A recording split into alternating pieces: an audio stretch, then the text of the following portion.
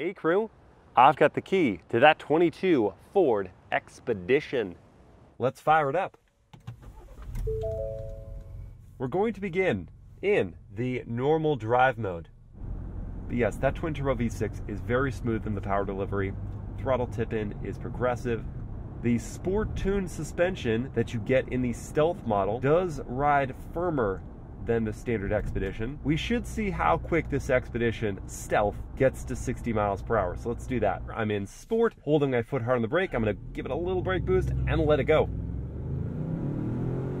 Can I catch the Model Y?